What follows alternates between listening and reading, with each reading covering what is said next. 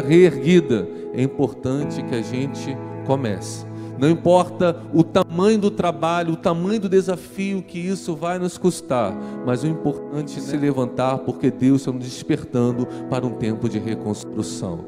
Deus não tem culpa das coisas às vezes ruírem na nossa vida, mas Deus é aquele que se levanta com a sua compaixão e misericórdia e fala: Filho, se levanta, eu sou contigo, vamos reerguer os muros.